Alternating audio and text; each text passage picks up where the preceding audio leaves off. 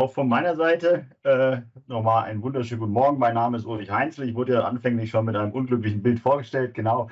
Ich freue mich heute, ähm, Ihnen Teamcenter 14.1, und zwar die Neuerung, ähm, sage ich mal, vorzustellen. Und zwar das in Verbindung mit dem Active Workspace. Ähm, jeder, der mit Teamcenter arbeitet, weiß ja, oder mit Siemens zusammenarbeitet, weiß ja, dass äh, die Kollegen quasi zwei meiner Releases ähm, im Jahr, äh, sage ich mal, auf den Markt bringen.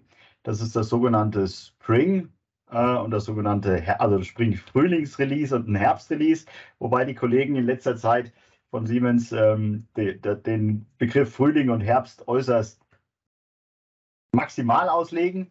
Genau, wir haben also das, das äh, jetzt diskutierte Release vor der Sommerpause im Juni bekommen und wahrscheinlich, wenn wir kurz vor Weihnachten dann auch ähm, das Herbstrelease sehen. Genau. Was ist der Inhalt dieses Releases? Sie haben es schon kurz in der Agenda gesehen.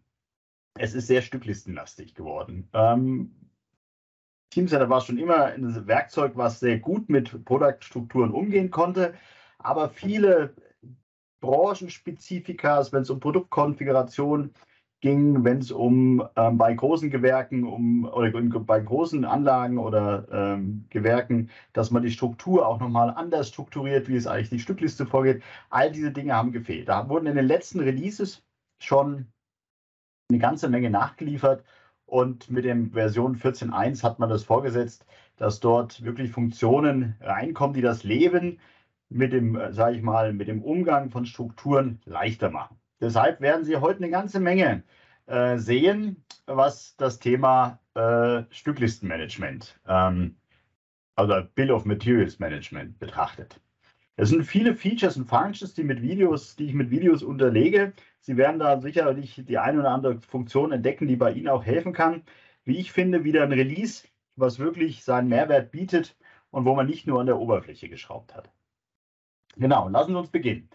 Ähm, die erste äh, Neuerung, die man so vorstellen kann im Stücklistenmanagement, ist es, wenn es darum geht, wenn ich mit einem Produktkonfigurator arbeite oder Produktkonfiguration habe, dass ich Aktualisierungen ähm, durchbringe. Das kennen Sie selber. Sie haben eine 150%-Stückliste und dort haben Sie, ähm, sage ich mal, Dinge ähm, aktualisiert und die davon abgeleiteten Lösungsvarianten, die realen Produkte, die Sie dann auch verkaufen, diese Lösungsvarianten zu aktualisieren bei einer Änderung der 150%-Stückliste, das war schon mal eine sehr zeitaufreibende Tätigkeit. Und da, wie gesagt, hat man reingefasst und hat da äh, Dinge verbessert, dass dort zum Beispiel automatisch, ähm, sage ich mal, Änderungen in die entsprechenden äh, von der Quellstückliste oder von der Quellstruktur in die jeweiligen Lösungsvarianten runtergehen. Das wollen wir uns mal anschauen. Ähm, das heißt, wieso sieht so eine Lösungsvariante aus? Ich mache hier kurz Stopp, damit Sie wissen, was Sie hier eigentlich sehen. Wenn Sie noch nicht mit dem Active Workspace gearbeitet haben oder nur wenig, dann sehen Sie hier eine Produktstruktur innerhalb des Active Workspace. Wenn Sie jetzt so ein bisschen auf die, auf die Icons achten, dann werden Sie sehen, dass diese Struktur hier auch schon mit Partitions arbeitet. Das ist eine Funktionalität, die kam im letzten oder vorletzten Release mit rein, wo ich eine beliebige Struktur, gern gemacht in großen, in großen äh, Strukturen, ähm, wo ich die beliebig entweder nach Modulen oder aber nach Gewerken, wo ich dann sage, also das ist ähm, zum Beispiel Hydraulik, das andere ist Schwarzwasser, Grauwasser, ähm, Frischwasser, dass ich solche Strukturen nochmal umstrukturieren kann, um die Arbeit in großen Strukturen zu erleichtern. Das sind diese Partitions hier oben. Ansonsten haben Sie immer den Unterschied zwischen einem Fixed Assembly und einem konfigurierbaren Assembly, wenn Sie mit ähm, Teamcenter arbeiten. Und Sie sehen das auch hier mit diesem V. Jeder, der Variantenmanagement auf dem Rich Client gemacht hat, kennt das. Dieses V sagt einfach nur, dass das eine variable Komponente ist, die je nach Ausprägung der Variante ähm, sage ich mal, ausgeprägt werden kann. Genau, das nur so. Schauen wir uns weiter rein, was äh, das Video uns so zeigt. Wenn ich jetzt hier mal die Ansicht wechsle, dass ich auch die entsprechende Änderung sehe, dann sehe ich, dass meine Struktur hier diese Kaffeemaschine bereits ausgeprägte Solution-Varianten hat.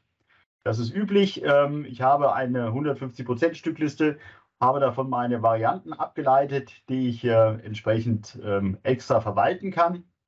Und hier gilt es jetzt, wenn ich eine Änderung hier an dieser, an dieser Maschine vornehme, die auch gar nicht gemacht wird, ähm, Also auch die Unterbaugruppen haben Solution-Varianten, das muss man dazu sagen. Das ist also nicht eine einstufige äh, Struktur, sondern diese konfigurierbaren Assembly-Stellen wieder, haben wieder ihre Lösungsvarianten. Gleichzeitig ist damit auch eine Designstruktur, das heißt eine CAD-Struktur ähm, verknüpft. Und ähm, diese CAD-Struktur wird über das Part-Alignment miteinander verknüpft und, ähm, und hier jetzt auch, sage ich mal, aktualisiert. Der Kollege legt hier eine Änderung an, um, ähm, sage ich mal, für diese Struktur dann die, innerhalb dieses, dieser Änderung vorzunehmen.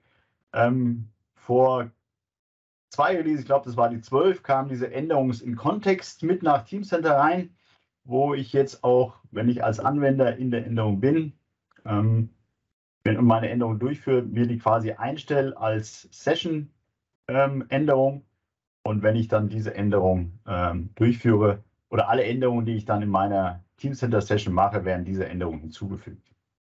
So, er ist jetzt gleich fertig. Änderungen sehen wir uns später an, was ich da geändert habe. Aber klassisch, ich habe meine meine äh, Impacted Items, ich habe meine Problem Items da alle hinzugefügt, genau. Und die Solution Items natürlich auch, das heißt die Elemente, die aus der Änderung hervorgehen. Hier geht er jetzt her und tauscht in der Struktur ähm, quasi diese, dieses Teil aus, und zwar gegen 1 mit Sensor. Sie sehen auch, dass in diesem, in diesem Änderungsview auch immer gleich die Änderungen, die Sie gemacht haben, validiert wird. Das heißt, ähm, es wird gezeigt, dass sich da jetzt die Nummern ändern und so weiter. Das ist diese Rot-Grün-Vergleich, den wir da sehen. Und hier ist es so, dass, wie gesagt, das natürlich auch in den entsprechenden Änderungsobjekten mitgezogen wird, was sich da wirklich geändert hat, alt gegen neu. Das sehen wir uns aber nachher nochmal an. Und ich habe jetzt die Möglichkeit, die Änderungen, die ich auf Basis meiner Designstruktur habe, auch in meine entsprechenden, ähm, sage ich mal, äh, ähm, E-Bombs zu übernehmen.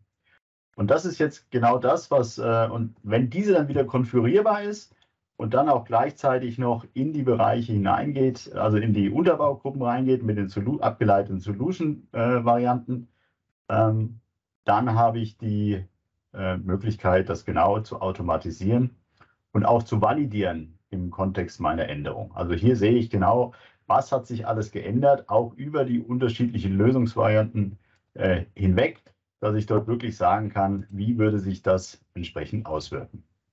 Das heißt, wenn wir da weitergehen, auf diesem Punkt ähm, kann ich genau steuern, wie ich meine Änderung aus einer Design, also CAD-Struktur, in meine 150%-Struktur übernehme, über das Cut-Path-Alignment um dieses dann in, sage ich mal, meine Lösungsvarianten auch mehrstufig zu aktualisieren, ohne dass ich die Übersicht verliere. Das ist, wie gesagt, ähm, diese Vorgehensweise, die jetzt mit der 14.1 und dem Active Workspace ähm, 6.1 entsprechend übernommen wurde und das Ganze, ähm, wie gesagt, ähm, zeige ich später auch nochmal ein Video, das Ganze dann auch unterstützt durch die äh, Benutzeroberfläche. Bei dieser Aktualisierung werden mitunter dann auch, ähm, sage ich mal, neue Objekte erzeugt. Wenn ich zum Beispiel ein neues CAD-Element habe oder überhaupt eine neue Lösungsvariante generieren möchte, dann kann ich auch inzwischen jetzt über einfache Konfiguration festlegen, wie diese Elemente benannt werden. Benannt werden. Dahinter steht eine, eine Voreinstellung ähm, und dort kann ich dann auch sagen, aus welchen Properties, aus welchen Eigenschaften ähm, ich dann quasi meinen äh, ID oder Namen generiere, damit ich eine eindeutige äh, Benennung meiner Lösungsvarianten habe. Genau. Das Ganze, wie gesagt, wird konfiguriert über, ähm, über die Voreinstellung, Preferences. Ich habe die Möglichkeiten außerdem über die Deep Copy Rules festzulegen, ähm, dann welche dieser Eigenschaften wie dort ähm, verwendet werden und ich habe außerdem jetzt neu, wenn ich das dann ein bisschen noch automatisieren möchte, sogenannte User Exist, äh, Exits, die ich verwenden kann, um dort äh, Preconditions zu prüfen oder Aktionen vor dieser Ableitung einzuleiten und so weiter. Das heißt, da wären wir aber dann im Bereich Customizen. Das heißt, auch dort in dem Bereich hat man einiges getan. Genau. Gehen wir, ähm, wie gesagt, noch eins weiter. Im ähm, in das Stücklistenmanagement. Ähm, hier geht es darum, jetzt immer mehr, oder das ist ein Trend, den, wir, den man im Teamcenter sieht, das ist diese Separierung der CAD-Struktur von der eigentlichen Teilestruktur. Warum macht man das? Da geht es darum, um äh, solche Verfahren wie graues Design, das heißt farbunabhängige Konstruktion, aber Ausprägung als Materialstamm. Also viele solcher Verfahren sind dort implementiert, wo es durchaus Sinn macht, die CAD-Struktur von der jeweiligen Teilestruktur zu trennen. Anders wie man früher Teamcenter implementiert hat, mit so einem Single-Item-Konzept, geht man heute her und separiert die CAD-Struktur von der Teilestruktur. Das bringt ein paar Herausforderungen mit sich, vor allen Dingen, wenn man noch die Visualisierung im Hinterkopf hat. Dort hat Siemens in den letzten Releases eine ganze Menge gemacht, um das Ganze zu automatisieren und für den Anwender auch benutzbar zu machen. Also ich muss nicht mehr jedes Element äh, händisch verlinken, wie es früher einmal war und das in der Oberfläche, die nur Experten zugänglich war, sondern heute geht das ähm, äh, teilautomatisiert, vollautomatisiert ähm, in der Oberfläche. Und dieses Update-Verhalten, das ist etwas, wo man jetzt auch in diesem Release gearbeitet hat, wie man neue Bauteile generieren kann, welche Automatismen man dort machen kann. Und wie gesagt, auch hier, ähm, wie man diese Strukturen updaten kann. Und in diesem Bereich tauchen wir jetzt mal ein bisschen ein. Genau. Automatisierung äh, von ähm, sage ich mal, der Erstellung jeweils der anderen Struktur. Das heißt, ich stehe auf der Designstruktur und ich leite meine, meine Partstruktur ab. Genauso gut geht es aber auch so, ich stehe auf meiner Partrevision ähm, und äh, leite meine Designstruktur ab. Wenn ich mir das mal im System anschaue und ich habe jetzt hier, ähm, sage ich mal, meine Designstruktur, ähm, dann kann ich dort einfach ähm, einen Knopf drücken. Gehen wir mal her, ich drücke kurz äh, Stopp des Videos, damit wir uns das angucken können. Dieses Fenster sagt mir jetzt bloß, dass wenn ich, das, ähm, wenn ich eine neue Teilestruktur habe, dann äh, kann ich auch noch auswählen, ob das Ganze im Kontext einer Änderung passieren soll. Das heißt, äh, ob ich dieses tracken möchte, ähm, dass das im Kontext einer Änderung passiert. Da ist Siemens sehr stolz drauf, auf diese Funktion. Das werden wir jetzt in den Videos noch öfter sehen. Ähm, die ist auch ganz toll, wenn man ein umfassendes Änderungsmanagement in seinen Prozessen hinterlegt hat. Wenn Sie das nicht haben, sondern Sie noch ein sehr, äh, sage ich mal, einfaches Änderungsmanagement haben, was auf einer Änderungsnotiz passiert, dann brauchen Sie das nicht alles implementieren. Die Funktionen gibt es auch ohne diese Änderung im Kontext.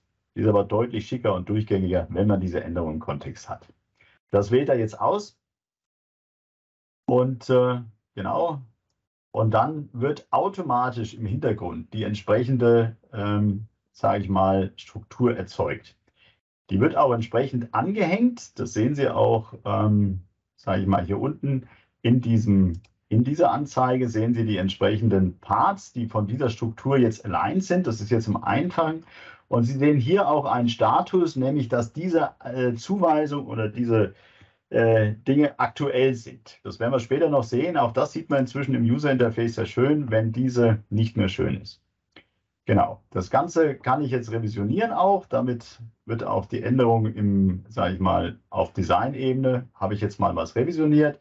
Sie sehen auch, es wird mitgezogen, was sich geändert hat.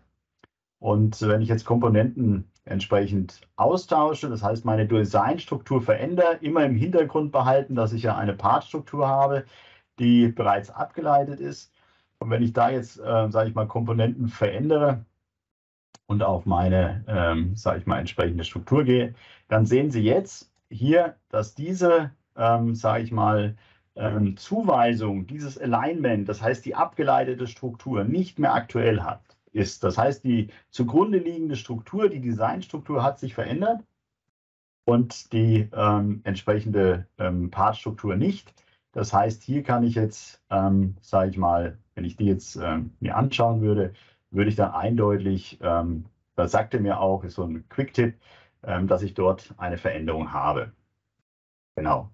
Da drücke ich jetzt wieder auf den Knopf ähm, Align. Ich habe die Option, das automatisch zu nehmen, machen. Dann äh, geht er wieder durch die ganze Komponenteliste und tut die entsprechend ähm, updaten. Das hat er jetzt auch gemacht. Und entsprechend ist hier jetzt auch das Icon weg. Das heißt, hiermit bin ich wieder synchron zwischen beiden ähm, ähm, ich mal, Strukturen. Das heißt, der User wird unterstützt oder er sieht direkt, wenn er auf eine solche Struktur geht, was ist denn überhaupt, ähm, ähm, was hat sich, oder was ist nicht mehr in Sync und was muss ich anpacken oder vielleicht auch manuell mal prüfen. Es ist ja nicht immer gewollt, dass das automatisiert ist. Manchmal möchte ich ja auch ähm, Dinge äh, überarbeiten, also die, dass die Teilstruktur sich anders verhält ähm, wie die, äh, wie die äh, Designstruktur und dann kann ich das auch manuell updaten. Genau.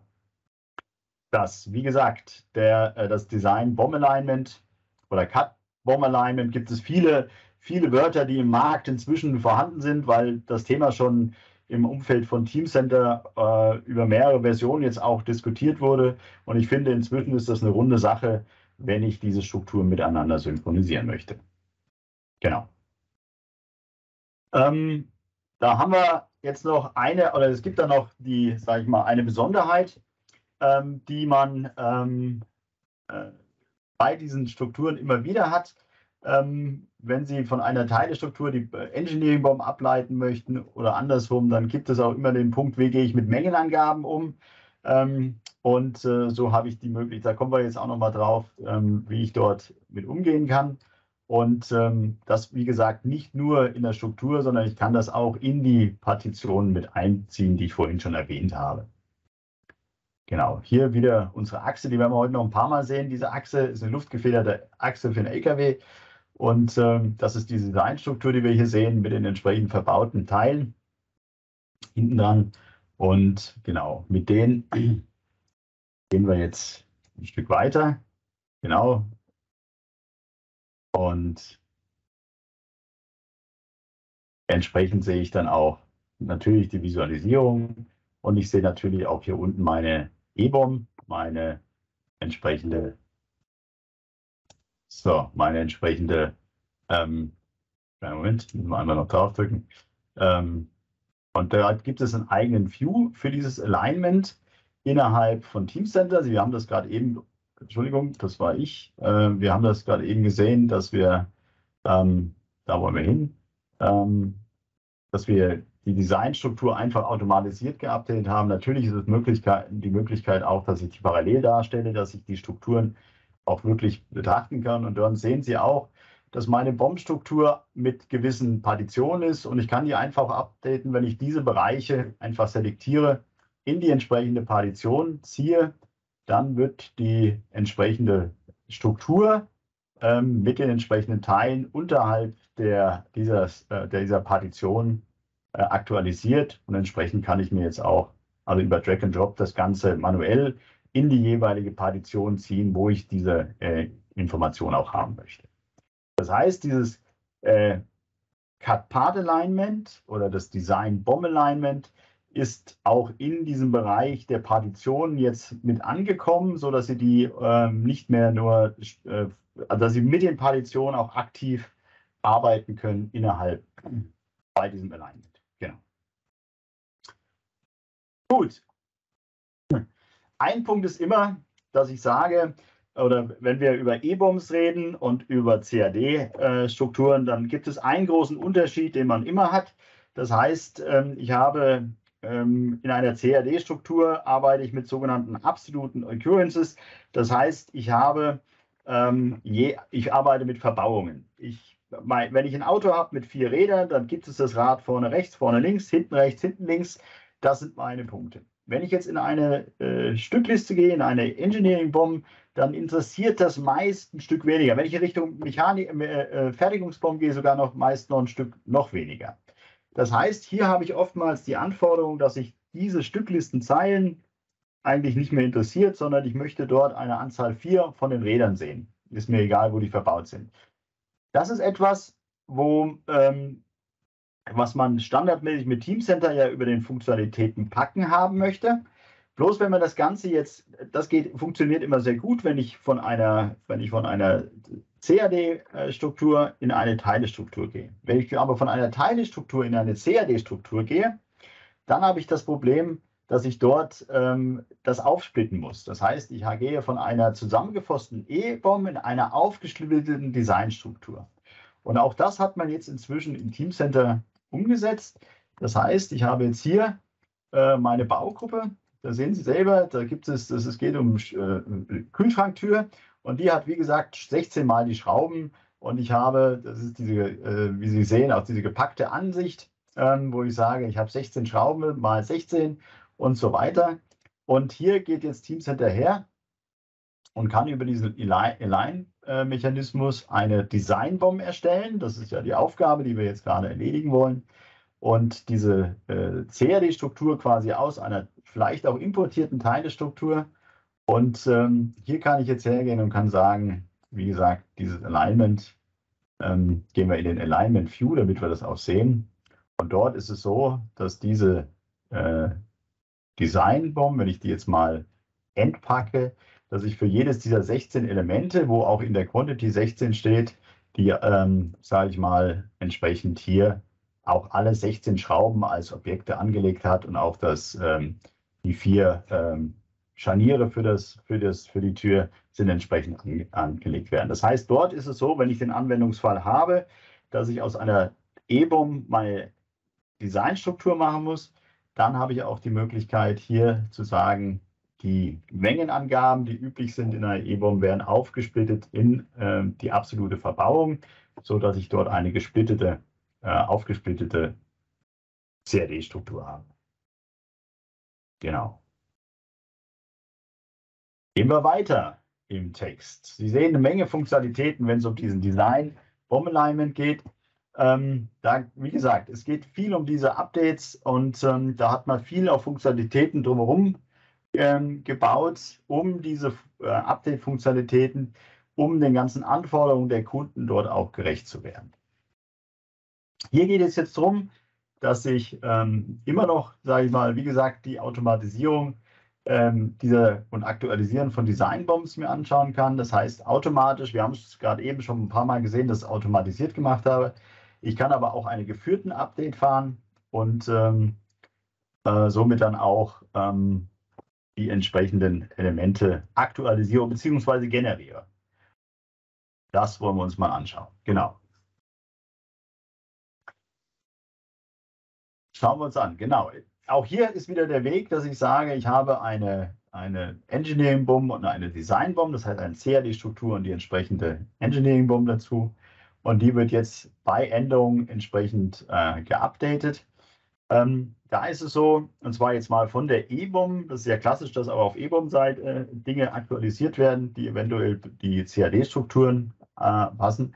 Und so habe ich dann die Möglichkeit, das auch zu automatisieren, beziehungsweise vom System unterstützt, die jeweilige Struktur zu modifizieren. Gucken wir uns das an. Wir haben hier eine Teilestruktur, die mit Änderungen versehen sind. Wir sehen jetzt hier, ähm, ich sehe direkt in der Stückliste, welche Änderungen anhängig sind ähm, und also wo das Teil selber geändert wurde, beziehungsweise wo die Verwendung, die in Englisch oder in Teams in der Sprache die Usage verändert wurde. Und wenn ich das jetzt auf, Use, auf Align drücke, dann habe ich natürlich nach wie vor, sage ich mal, die Möglichkeit, in diesem Align View die Visualisierung mir anzuschauen. Und ähm, ich habe jetzt hier in dieser Teilestruktur ähm, die kann ich jetzt, sage ich mal, auch äh, alleine öffnen. Ähm, wird jetzt hier die Änderungen angeschaut, die ich äh, für diese Struktur habe. Und die kann ich im Kontext der Änderung mir dann entsprechend auch, sage ich mal, anschauen. Das ist jetzt die Ansicht genau, ähm, wo eine Änderung dann durchgeführt wird. Genau. Dort sehen wir jetzt wieder, dort sind jetzt alle freigegeben. Der Freigabestatus ist entsprechend mit der Freigabe der Änderung genommen worden. Und äh, dort wird jetzt ein äh, ECN entsprechend in den Kontext gesetzt.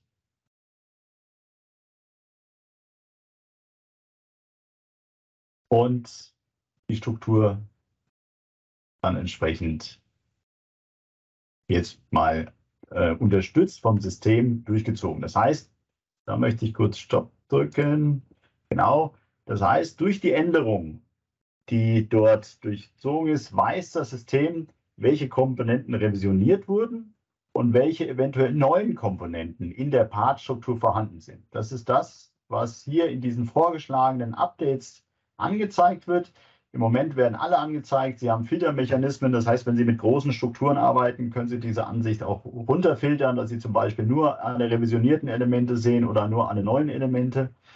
Und dann haben Sie die Möglichkeit zu sagen, wie Sie mit diesen Elementen umgehen möchten. Ob Sie die zum Beispiel revisionieren möchten oder nur, ähm, sage ich mal, weiterverwenden möchten, die alte Version und so weiter. Das können Sie jetzt also festlegen. Das macht der Kollege jetzt auch. Und hier, wie gesagt, habe ich neue Komponenten, ähm, dass die entsprechend, wie, wie man damit umgehen muss. Ich kann die jetzt updaten. Das heißt, es wird hier ein neues Design erstellt für dieses Bereich. Hier wird revisioniert. Und jetzt habe ich auch hier mein neues, ähm, also hier die Revision B, ist klar, die hat er jetzt mitrevisioniert. Und unten drunter sehe ich jetzt auch, dass es dort ein, natürlich aktuell eine leere Hülle sehe, weil es ja eine neue Komponente ist und die auch mit den richtigen Stückzahlen entsprechend verknüpft ist. Wenn ich mir das anschauen möchte, wird in dem anderen View jeweils die Verbauung selektiert. Das heißt, die sind davon betroffen. Und ich sehe, das Ganze ist auch im Kontext einer Änderung passiert. Das ist diese. Und ähm, hier sehe ich dann auf der Änderung, wenn ich darauf wechsle, das hat er jetzt gerade gemacht, sehe ich, dass die ganzen Wheelbolts da ähm, entsprechend durch eine neue Komponente ersetzt wurden. Das ist das, was ich hier jetzt sehe im Kontext der Änderung. Genau. Gut, gehen wir eins weiter. Ähm, dieses ganze Design und Partstrukturen hin und her ist etwas, was auch, ähm, sage ich mal, große Auswirkungen natürlich auf das CAD-System hat. Und bevor ich Dinge updaten möchte, möchte ich vielleicht, gerade wenn sie von der EBOM kommen, ähm, möchte ich diese vielleicht in meiner CAD-Struktur erstmal überprüfen. Das kann ich natürlich viel über die Visualisierung machen, aber wenn ich dann äh, doch, sage ich mal, Richtung Packaging gehe und ich möchte genau wissen, wie eng wird es denn da in dem Bereich, ähm, dann muss ich ins CAD wechseln. Und dort ist es jetzt auch möglich, eventuell konfigurierte, wie auch immer konfigurierte EBOM-Sessions in den CAD-Systemen NX und CATIA, das ist der aktuelle Stand, ähm, entsprechend zu laden. Ähm, wenn wir uns das anschauen, das wird passiert über einen Mechanismus, der dort äh, quasi wie ein Workset ist. Genau, gucken wir uns das mal an. Ähm, wir haben jetzt hier die entsprechende Struktur. Ich habe meine, meine äh, verbundene CAD-Komponenten. Äh, Natürlich kann ich das Ganze visualisieren in Viewer. Ähm, und ich habe jetzt hier die Möglichkeit, sage ich mal, eine neue Session zu kreieren. Das ist eine Session, ist ein Business-Objekt, was quasi als Elternelement dient wo ich Änderungen an Konfiguration und an der Ausprägung meiner Struktur abspeichern kann, ohne dass es quasi die Ursprungsstruktur ähm, basiert. Diese, diese, dieses Workset kann ich jetzt auch dann in Teamcenter entsprechend öffnen. Genau, da kommt ja dieses kleine File raus, wenn ich aus dem Active Workflow mache. Hier kriege ich jetzt den Hinweis, dass dir eine EBOM-Struktur laden möchte und er dann die entsprechende Design-Struktur entsprechend dem ähm, der EBOM jetzt aufbauen würde. Dann kommt ein Fenster in ein X hoch, das mir sagt, welche Komponenten unterdrückt sind aufgrund der ähm, Ausprägung der EBOM. Und so habe ich jetzt eine quasi durch die Konfiguration, durch das Workset bestimmte ähm, Struktur in NX geladen und braucht dort jetzt in NX nicht durchselektieren, wie muss die eigentlich aussehen, sondern aus Teamcenter heraus die Ausprägung, die ich jetzt für meine Engineering Bomb habe, in NX geladen und hier jetzt auch als Arbeit zur Verfügung stehen. Genau. Das Ganze sehe ich auch in den Properties, ähm, die äh, ich dann auch zur Verwendung habe. Das heißt, ich habe Attribute, die habe ich sowieso in NX, aber ich habe hier für diese Align Parts, kann ich mir dann nochmal extra anschauen, ähm, ob das wirklich, ähm, wie das Ganze aussieht. Das heißt, auch hier sind jetzt Attribute standardmäßig verfügbar sind, die ich für, das, für die Arbeit in der Nix auch nutzen kann. Gut, das ist das dazu. Wie gesagt, automatisierte ähm, genau äh, Updates, da springe ich jetzt mal ein bisschen drüber damit wir die Zeit nicht sprengen. Wie gesagt, da hat sich eine Menge getan, wenn es darum geht, EBOM, äh, die EBOM und die Designstruktur automatisch äh, miteinander zu ähm, verknüpfen. Ich kann das Ganze, wie wir es gesehen haben, geführt machen. Das heißt, das System erkennt die neuen äh, hinzugenommenen Komponenten in einer Struktur und äh, schlägt mir vor, was ich auf, dem, an, auf der anderen Struktur updaten könnte oder wie ich es updaten könnte.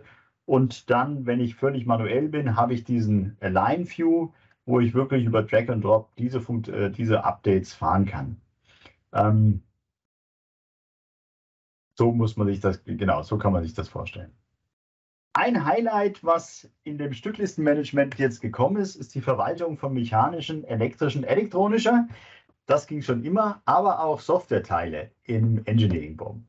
Wenn wir zu unseren Kunden gucken, wurde diese Thematik immer sehr kundenspezifisch gelöst. Deshalb freue ich mich, dass man dort jetzt in, ähm, von Teamcenter out of the box quasi äh, Funktionalitäten reingebracht hat, die es mir erlaubt, in diesen Stücklisten oder in Stücklisten auch mit diesen ähm, Komponenten, die sich ein bisschen anders verhalten wie mechanische Teil, Teile, ähm, entsprechend umzugehen.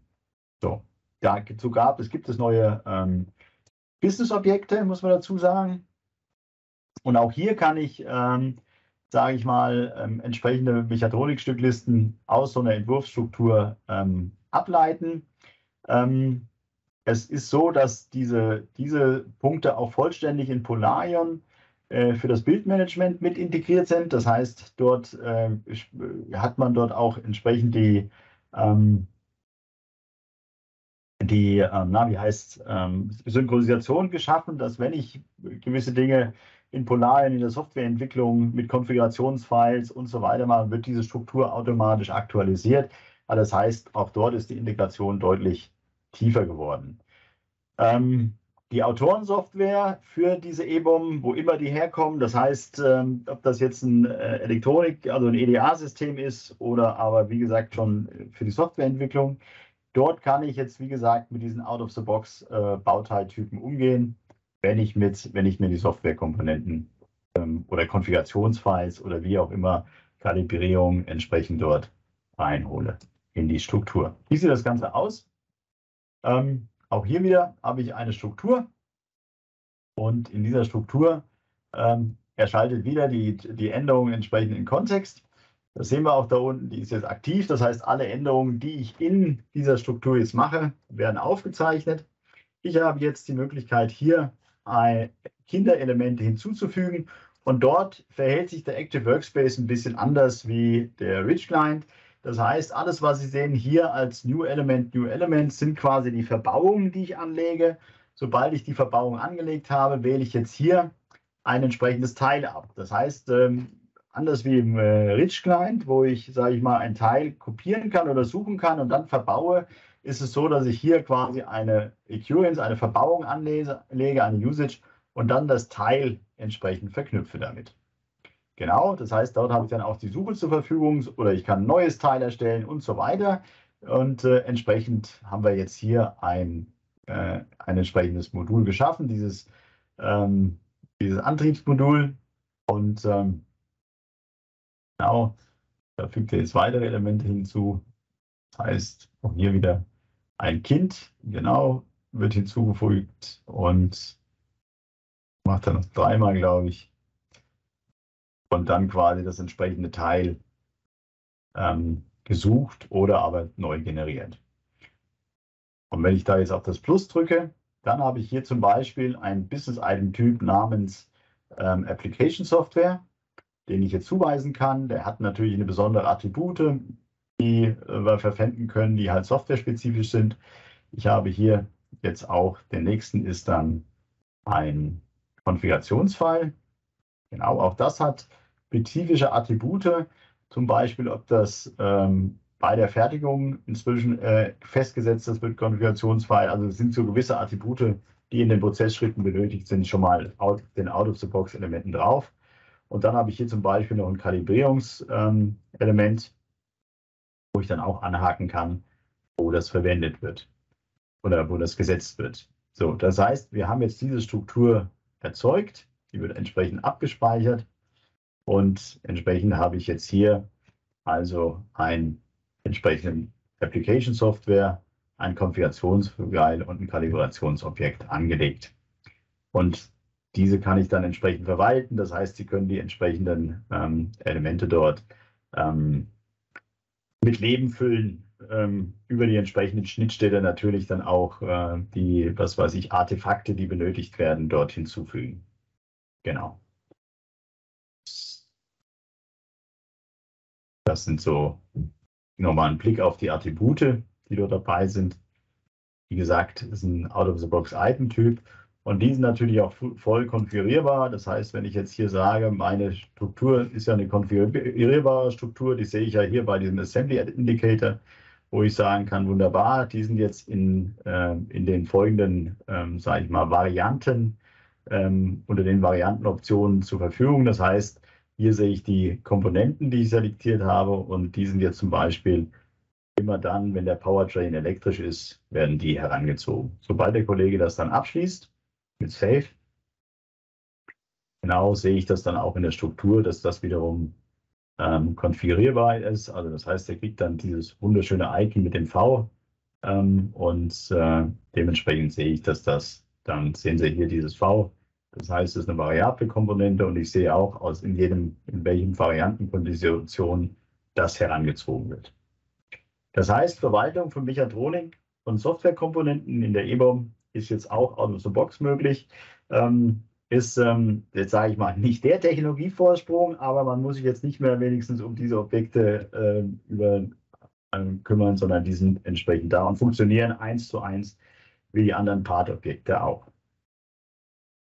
Genau.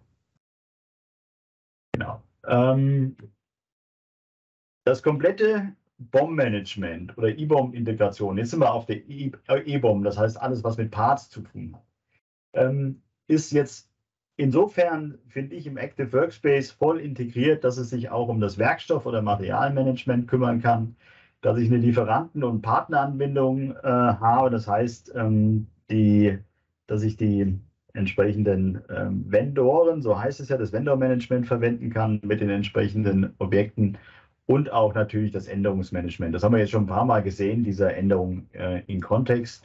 Die gibt es schon ein bisschen länger, aber jetzt ist es wirklich mit diesen Redlining-Funktionen und so ähm, eine sehr runde gekommen. Genau. genau. Jeder, der mit ähm, EPLM schon länger zusammenarbeitet, weiß, dass wir eine Historie haben bei dem Werkzeug Werkstoffmanagement innerhalb von Teamcenter das heute von einem anderen Partner betreut wird.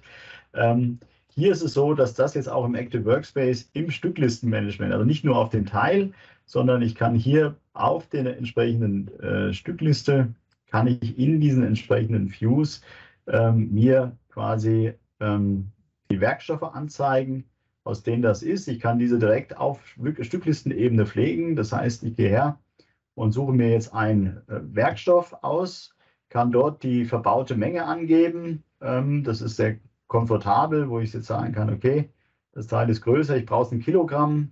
Ähm, wenn Sie mit Kunststoffen arbeiten, können Sie angeben, äh, ob Sie mit Rezyklaten arbeiten und so weiter. Beschichtungen sind inzwischen möglich. Also hier kann ich Werkstoffe meiner verbauten Bauteil zuweisen und muss da nicht mehr auf Teil wechseln und dann umständlich in ein anderes Modul, sondern ich kann in dem Kontext meiner Stückliste solche Daten pflegen, so wie es ja eigentlich auch sein soll. Genau. Ähm, das Gleiche funktioniert jetzt auch inzwischen, das beobachten wir schon ein bisschen länger, das hat sich jetzt so ein bisschen äh, über jedes Release ein bisschen verfeinert, dass ich die kompletten, ähm, das komplette, ist es nicht Lieferantenmanagement, sondern Lieferantenteile mitmanagen kann auf den entsprechenden Strukturen.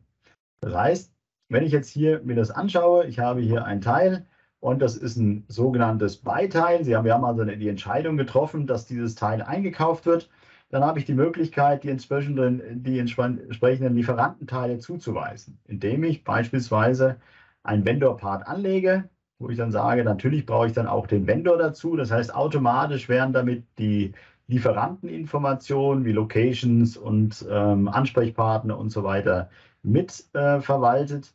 Und entsprechend kann ich dort ähm, das entsprechend zuweisen.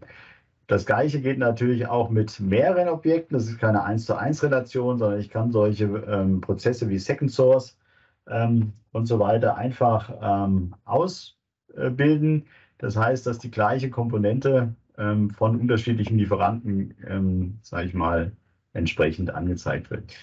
Wenn hinter diesen Lieferanten und der Komponente ein Vertrag entsteht als Dokument ähm, und das auch vielleicht klassifiziert ist, dieser, dieser Vertrag, dann kann ich sagen, okay, das ist zum Beispiel mein bevorzugter Lieferant für diese Komponente. Das ähm, sind dann Informationen, die aus dem Einkauf kommen. Und entsprechend wird dieses ähm, Teil dann auch in meiner Struktur ähm, sage ich mal, ist das der präferierte Lieferant und auch gleich für jeden erkennbar, ohne dass man in ein ERP-System abtauchen kann oder beziehungsweise, wenn das bereits in einem Entwicklungsprozess definiert ist, dann ist der Weg dann aus dem PLM-System in das ERP-System. Aber das sauber dokumentiert und nachvollziehbar in der entsprechenden, auf den entsprechenden Objekten und meiner Struktur. Genau. Ähm, Genau, und dann haben wir natürlich noch das, was Sie, was Sie schon die ganze Zeit gesehen haben. Das heißt, ähm, diesen Out-of-the-Box-Funktionalitäten, äh, wo ich die Möglichkeit habe, mein komplettes Änderungsmanagement im Kontext meiner Struktur zu machen. Und das, der große Vorteil ist, das wird immer unterschätzt, wenn Sie mit dem Änderungsmanagement machen, das heißt irgendwie festlegen müssen, ähm, was sind meine Lösungselemente, was sind meine Impacted-Elemente und so weiter. Da ist der große Vorteil, wenn ich die dann ähm, entsprechend in meiner Struktur kennzeichne, dann habe ich dort, ähm, oder wenn ich diesen, diesen Änderung im Kontext mache, was er hier wieder macht, wo er eine Änderung auswählt und sagt, jawohl, ich nehme hier dieses EBOM Release als, als meine Änderung und dann kann ich, wie gesagt, das ist noch ein bisschen langweilig, hier mit Effektivitäten natürlich auch arbeiten. Ähm, kommen wir später noch darauf hin, auch dort hat sich einiges getan. Und jetzt kann ich diese Struktur aufbauen und alles, was ich jetzt innerhalb dieser, an dieser Strukturänderung ändere, wird in diesem, in diesem in der zugeordneten Änderung gesammelt, sodass ich mich da nicht mehr darum kümmern muss, was ist wirklich von dieser Änderung betroffen, sondern das sammelt das System für mich und trägt entsprechend die Elemente ein. Und das steht mir dann, dann auch zur Verfügung ähm, für die, sage ich mal, Auswertung wenn ich auf eine Änderungsnotiz gucke, was hat sich denn geändert, was war alt, was war neu, das ist ja die klassische Fragestellung bei Änderungen. Ähm, nicht nur die Gründe, warum hat sich etwas geändert, sondern auch, was hat sich geändert ähm, im Detail und entsprechend wird diese Änderung durchgezogen. Genau. Das lassen wir Ihnen jetzt gerne noch mal abschließen.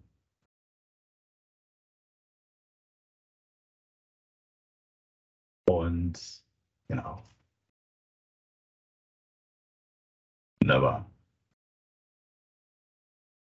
Und wie gesagt, auf diesen Objekten steht jetzt auch in der Struktur, sage ich mal, dass wir sicherlich erstmal fixierte Assemblies haben, aber weiter hinten gibt es Spalten, die mir dann sagen, zeigen zum Beispiel, wann ähm, wurde das Teil kreiert, unter welcher Änderung, das ist ja eine Funktion, und wann wurde dieses Teil in meine Struktur eingebaut. Und das sind, wie gesagt, die Dinge, die hier auf der Änderung ähm, frei, also ich mal, ähm, entsprechend ähm, getrackt werden.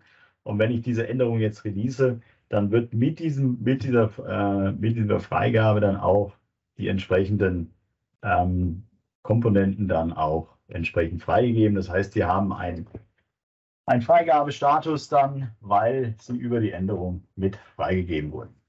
Genau. Das Ganze kann ich jetzt natürlich auch äh, ändern. Das heißt, der Kollege geht es her und wählt eine andere Änderung äh, aus, die noch nicht geschlossen ist. Das heißt, das ist jetzt dieses IBOM-Update. Und ähm, hier kann ich jetzt hergehen und kann sagen, da, wie gesagt, haben wir ein anderes Datum jetzt. Wir sind in der Zeit gesprungen. Und äh, das latest Modified, also latest Working ist jetzt äh, die Laderegel. Das heißt, ich kriege den aktuellen Stand angezeigt. Ähm, er geht jetzt her und äh, fügt jetzt, sage ich mal, Komponenten oder tauscht Komponenten aus, das heißt Replace mit der neuen Komponente.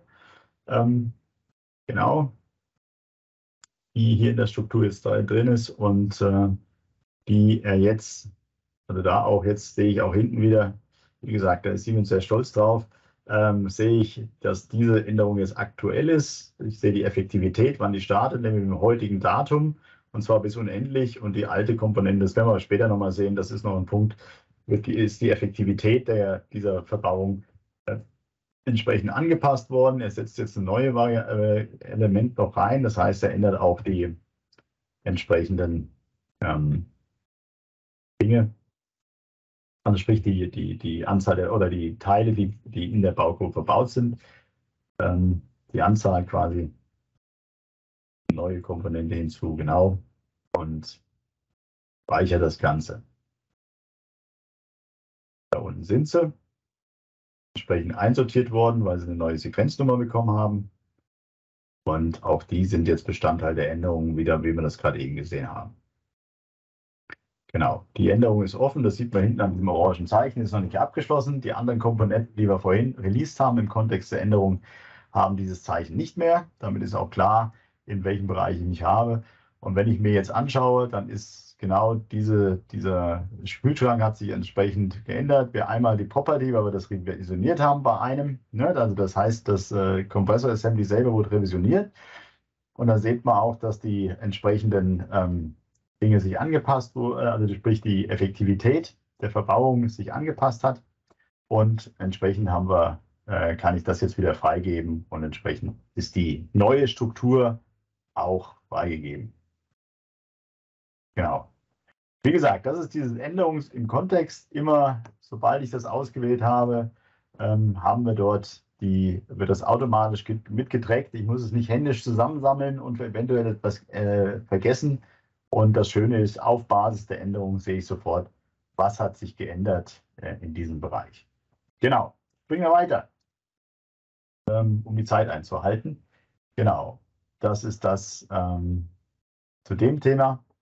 Ähm, Modulvarianten, das haben wir vorhin schon gesehen, wie wir, ähm, wie wir damit umgehen, dass ähm, ich dort ähm, bei diesen Modulen ähm, also sage ich mal, mit den Partitionen auch Module abbilden kann.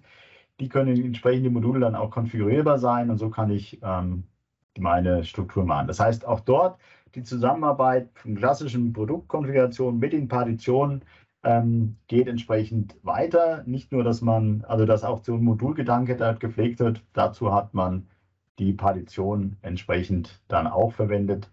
Ähm, und auch das ist ein Thema, was ähm, dort angeht. Genau. Wenn ich so eine Struktur öffne, äh, sieht dann so aus, dass ich die Produktstruktur habe mit meinen Modulen.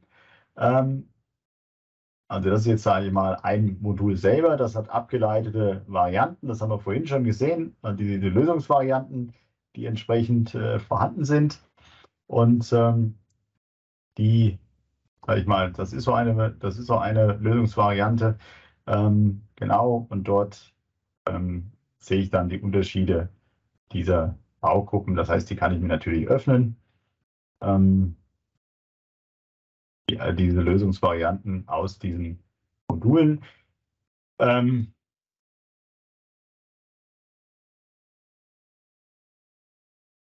das sind die anderen dazu. Das heißt, hier haben wir mehrere Lösungsvarianten bereits ausgeprägt. Ähm, kann ich natürlich auch zu meinen Favoriten hinzufügen. Das ist äh, etwas, ich spule mal ein bisschen weiter, weil das sind so Standardfunktionalitäten, die Sie im Active Workspace sowieso schon können. Kommen wir mal zum, zum Kern der Geschichte. Da ist es so, dass ich jetzt hier, wenn ich mir solch eine Produktstruktur anschaue, ich mit äh, mir meine Produktstruktur aufteilen kann in Module. Das sind sogenannte Partitionen, das sehen Sie auch am, am Präfix der Nummer. PTN steht für Partition, das heißt, ich habe Strukturelemente drin, die nicht Bestandteil der Stückliste sind, sondern nur dazu dienen, dass ich äh, meine Struktur äh, übersichtlicher ähm, also aufbauen kann. Innerhalb dieser äh, Struktur, oder ich sage mal, auch wenn ich hier jetzt sage, ich nehme eine Änderung im Kontext wahr, dann und dort jetzt zum Beispiel Elemente hinzufügen in ein Modul oder Module abändere, dann wird das entsprechend ähm, mitgeträgt. Das heißt, wir gehen mal hier in dieses äh, Achsengehäuse hinein in diese Partition und ähm, fügen dort jetzt Kinder hinzu. Das heißt, das ist genau das, was ich dort ähm, gemeint habe. Ich nehme jetzt einfach Teile äh, hinzu. Deshalb hat er sie sich in die Favoriten gelegt, damit er die in dieses Modul mit reinbringen kann. Das heißt, die ganzen Lösungsvarianten, die es für diese Struktur, für diese Module gibt, zieht er jetzt in dieses Modul rein. Das heißt, hier habe ich meine äh, meine Lösungsvarianten quasi in dieser Struktur und kann diese dann, sage ich mal, innerhalb von Teamcenter auf der Basis dann auch entsprechend konfigurieren. Das heißt, ich habe von einer Baugruppe für meine Module Lösungsvarianten geschaffen, die ich jetzt wiederum in der übergeordneten Baugruppe konfiguriere als Modul über diese Regeln, wann diese greifen. Das, was wir vorhin schon gesehen haben, dass ich jetzt sage, jawohl, das sind, äh, sage ich mal, entsprechende Varianten, Elemente, die ich jetzt äh, machen kann. Und die wiederum kann ich jetzt mit der entsprechenden Designstruktur auch entsprechend alignen in der Ausprägung und so sicherstellen, dass ich, äh, sage ich mal, immer die richtigen Informationen habe. Genau. Wir springen da mal drüber. Ähm, der hat eigentlich quasi schon alles gezeigt, was er zeigen wollte. Das heißt, Sie können genau diese Durchgängigkeit, Partition, um Module in der Struktur abzupassen, Lösungsvarianten dort einfügen, diese wieder auf Basis der Eltern- oder der Top-Struktur konfigurieren ähm, und das mit der unter, darunterliegenden CRD-Struktur entsprechend äh, zu greifen. Das heißt, hier ist es wirklich so, dass Siemens unheimlich viel ähm, jetzt gemacht hat, diese ganzen unterschiedlichen Arten, wie man mit Strukturen arbeitet, zusammenzubringen und durchgängig äh, dem Anwender darzubieten und damit für den jeweiligen Anwendungsbereich wirklich das Optimale auswählen zu können. Partitionen, ähm, Lösungsvarianten oder konfigurierbare Baugruppen und unten drunter dann diese CAD-Struktur, die ja auch für die Visualisierung oder visuelle Überprüfung der Endstruktur wichtig sind. Gut. Ein weiterer Punkt jetzt in dem Stücklistenmanagement äh, ist, dass man jetzt mit Reifegradmanagement angefangen hat. Ähm, wenn wir mit unseren Kunden reden, ist das immer etwas, was gern diskutiert wird zwischen Status und Reifegrad.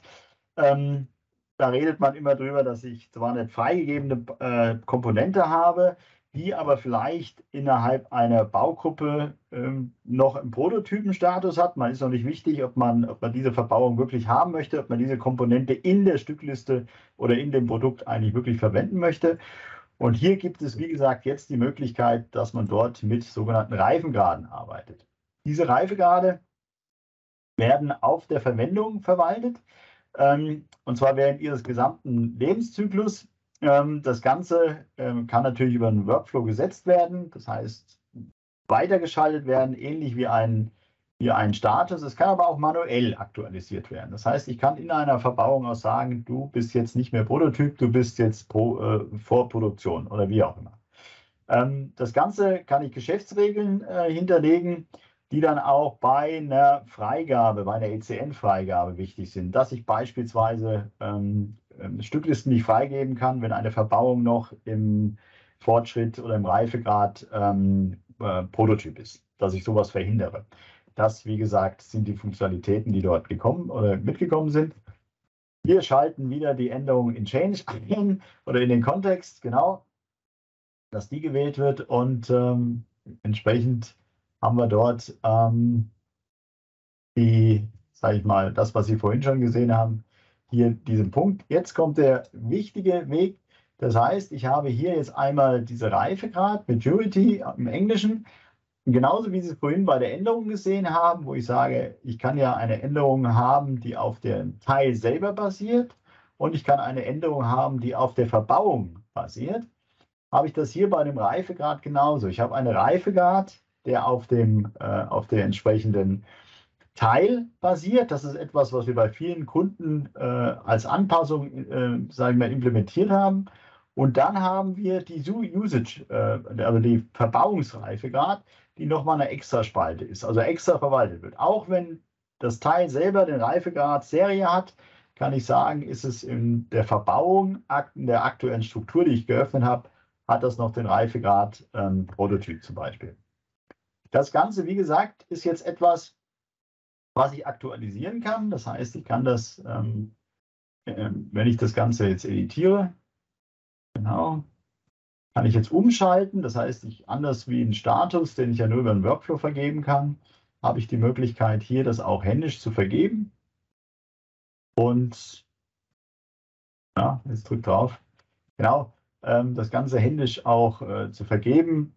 Die Tabellenfunktion im Active Workspace kennen Sie, arbeitet ein bisschen nach Excel. Ich muss nicht jedes anwählen, ich kann das runterziehen.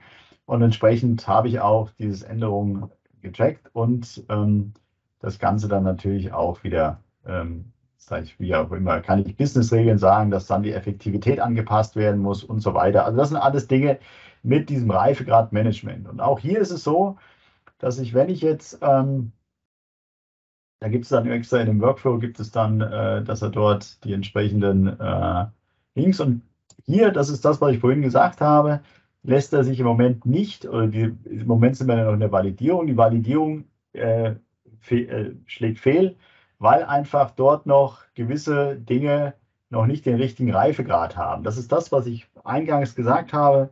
Mit den entsprechenden Reifegraden kann ich Prozesse, äh, sage ich mal, ähm, solider aufbauen und weil ich die einfach für die Prüfung da entsprechend äh, hinzufügen kann. Diese Geschichte. Und gibt es extra einen Tab für Validierung und da sagt er mir dann auch hier in der Validierung hier oben dass die entsprechende Verbauung im Moment noch nicht den richtigen Reifegrad hat. Und damit ist klar, also das ist immer die nächste Frage, schlägt etwas fehl.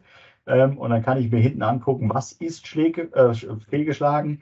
Und ähm, hier können wir dann, wie gesagt, direkt sehen, welche Komponente betroffen ist und kann mir entsprechend agieren und nachprüfen, warum das so ist. Also Reifegradmanagement innerhalb von Teamcenter, Aufverbauung auf einzelnen Teilen, Trennung vom Status, hat seinen Grund, warum das so ist. Und äh, wie gesagt, ähm, ist für mich so ein Punkt, weil in vielen, in vielen Kundenprojekten haben wir dieses Reifegradmanagement quasi als Anpassung implementiert, ist jetzt out of the box ähm, verfüg zur Verfügung und auch ähm, entsprechend in den Workflows und Freigabemechanismen von Teamcenter entsprechend einsetzbar, umsetzbar, dass dort Validierungen drüber laufen, so wie Sie es gerade eben gesehen haben. Genau. Ähm, Partitions habe ich schon viel drüber ge gesagt jetzt auch, dass das etwas ist. Wie gesagt, ein oder zwei Releases äh, ähm, bevor, in der Vergangenheit äh, wurden die, kamen die in das System rein. Ähm, dort, das Kundenfeedback, was wir erfahren haben, ist, dass Partitionen toll sind ähm, und sehr hilfreich sind, aber wenn diese Partitionsschemen angewandt werden auf eine Struktur, bedeutet das, dass ich ja jedes Mal anders auf eine Struktur äh, gucken kann und dann eventuell Komponenten nicht mehr ganz einfach aufhören sind. Und da ist es so, diese, hier sehen Sie quasi so ein Partitionsschema. Das heißt, das hat nichts mit äh, Teilen zu tun, sondern es ist wirklich eine Systempartition. Ich kann dann auch noch funktionale Partitionen aufbauen und so weiter. Gibt es unterschiedliche Typen. Ähm, Wichtig ist, dass ich das einer Struktur zuweise und entsprechend die Teile dann ähm, in die oder vielleicht auch halbautomatisch über Regeln in diese jeweiligen Strukturknoten eingeordnet werden. Und damit kann ich, wie gesagt, äh, habe ich unterschiedliche Sichten auf eine Struktur ganz einfach abbilden und anpassen. Wie gesagt, fügt aber dazu, kann durchaus sein, dass Kollegen, die auf eine Struktur gucken, in einem gewissen Partition Komponenten nicht mehr so einfach wiederfinden. Und dort ist es so, dass ich hier jetzt so einen Sucher habe, wo ich ähm, ähm, diese Komponenten dann auch mir anschauen kann, entsprechend, wo befindet sich das. Ich kriege ein Suchergebnis, das heißt, es ist eine Suche innerhalb der Struktur, damit ich meine entsprechenden Komponenten dann auch wiederfinde, die sich ja jetzt völlig anders strukturiert ähm, weil, ähm, aufgliedern können. Das ist etwas, was, wie ich finde, sehr hilfreich ist. Diese Suche funktioniert jetzt auch über die Partition hinweg. Also in den Partitionen muss man sagen, war ja eine Funktion eigentlich nur für die Stückliste. Genau. Genau. Arbeitskontexte, Worksets, das ist etwas, ähm, was ich sage, dass wirklich, wenn ich aktiv mit Strukturen arbeite, kann ich äh, und ich mehrere Strukturen, mehrere Konfigurationen, ähm, sage ich mal, entsprechend äh, kreieren möchte, dann kann ich dort mit Worksets arbeiten, um solche konfigurierten Strukturen und auch nicht als Struktur abspeichern, sondern eigentlich bloß als Ausprägung abspeichern. Wenn man sich das jetzt anguckt, habe ich jetzt hier dieses Crosscard, wo ich ähm, diese Struktur hier habe. Die hat äh, mehrere Lösungsmöglichkeiten. Das ist eine konfigurierbare Struktur. Ähm, und wenn ich immer an dieser Struktur arbeite und jedes Mal öffne, mir die Konfiguration raussuchen muss, die ich mir anschauen möchte, die Elemente ähm, sage ich mal, Latest Working oder wie auch immer darstellen lassen möchte. Vielleicht noch eine Variante ähm, anzeigen möchte, äh, die, was weiß ich, für den europäischen Markt, für den amerikanischen Markt. Dann muss ich jedes Mal mir ähm, das zurückreisen. Das macht er jetzt gerade. Er konfiguriert die jetzt als Variante CK Base, die prägt er jetzt aus. Das ist jetzt die einfache Variante. und kann außerdem über die Revision Rule und so weiter die entsprechenden, sage ich mal, möchte ich den letzten freigegeben Status, möchte ich den Working Status haben, kann ich entsprechend ähm, diese ähm, Dinge mir konfigurieren. Innerhalb des Worksets werden genau diese Konfigurationsparameter, so möchte ich sie mal nennen, abspeichern. Und ich kann nicht nur eine Struktur mir so anschauen, sondern ich kann auch mehrere Strukturen dort hineinfügen. Das scrolle ich mal ein bisschen vor. Da legt er nämlich die nächste an, die er jetzt mal als Luxusvariante äh, auskonfiguriert und so weiter. Und diese kann ich, also mehrere Strukturen auch des gleichen Teils anders konfiguriert. Ähm, mit anderen äh, Revisionsregeln auch dargestellt, kann ich mir jetzt innerhalb dieses Worksets halten und das auch als Arbeits, deshalb heißt es Workset, als Arbeitsgrundlage immer wieder aufrufen und ich kriege immer wieder diese Einstellung. Das ist ein großer Vorteil, wenn ich mit diesen Strukturen arbeite und immer wieder diese Einstellung brauche. Ich kann diese natürlich jetzt vergleichen, ich kann ähm, die Unterschiede mir aufbauen, so dass ich auch wirklich eine Übersicht habe. Darum geht es ja, dass ich Strukturen, gerade wenn ich über 150 Prozent Strukturen rede und darin arbeiten muss, meine Überprüfung, meine Validierung, meine Arbeiten ähm, immer auf Basis eines Worksets machen kann. Und das ist so der Vorteil. Das Ganze kann ich jetzt noch kombinieren, dass ich die Visualisierung mit reinnehme. Das heißt, ich kann jetzt ganz explizit sagen, dass in meiner Einstruktur nur, ähm, sage ich mal, das Hinterteil eingeblendet wird. Ich kann das in der anderen Struktur sagen, das entsprechende Vorderteil und kann dort Überprüfungen, die klassisch sind, für wenn man mit solchen Strukturen arbeitet, vornehmen. Das ist der große Vorteil dieser Worksets. Und das, wie gesagt, nicht einmal eingestellt und beim nächsten Mal nochmal, sondern immer wieder aufrufbar ähm, für meine äh, Tätigkeit, die eventuell ein bisschen länger dauert wie äh, nur ein Nachmittag. Das heißt, immer wieder aufrufbar und entsprechend ähm, darstellbar. Und auch in der Vergangenheit, in, in, der Zukunft natürlich auch ein Blick in die Vergangenheit. Ähm, was haben wir uns da eigentlich dabei gedacht, dass ich das mit abspeichere? Worksets. Diese können Sie wie gesagt, in der Visualisierung verwenden. Ähm, und ähm, sobald ich weiß, können Sie die auch die Worksets dann ähm, oder die auskonfigurierten Elemente dann, wie wir es vorhin gesehen haben, dann auch in NX starten. Genau. Gut. Das ist der Punkt. Produkt, also das ist jetzt das ganze Paket Stücklistenmanagement. Sie haben gesehen, dass eine ganze Menge passiert ähm, wenn es äh, den Abgleich zwischen Designstruktur und Teilestruktur, dass dort viel automatisch unterstützt funktioniert. Sie haben gesehen, dass im, äh, im, ähm, im Strukturmanagement eine ganze Menge passiert ist, die einzelnen Module, Materialmanagement, Vendormanagement und so weiter innerhalb der Struktur, also sage ich mal, innerhalb meines Strukturbaumes mit bearbeiten kann, dass das eine runde Geschichte geworden ist. Sie haben gesehen, dass das Reifegradmanagement ähm, in wichtige, also sage ich mal, jetzt mit eingeführt wurde und dass dieser Change in Kontext, ähm, sage ich mal, inzwischen so eine Basisfunktionalität ist, die man dort ähm, bei den Änderungen von Strukturen und Teilen entsprechend zur Verfügung hat. Jetzt kommen wir zu dem Punkt Produktkonfiguration, das heißt wirklich die Produktkonfiguration selber. Ähm, dort ist es so, dass den, mit dem Werkzeug oder Teamcenter hat ja da zwei Artefakte für das Produktkonfiguration. Das eine ist der Product Configurator, ähm, der, wo ich, sage ich mal, diesen klassischen äh, Configure-to-Order-Prozess abdecken kann. Und es gibt ähm, das Werkzeug RuleStream, wo ich eigentlich so diesen Engineering-to-Order mit abdecken kann.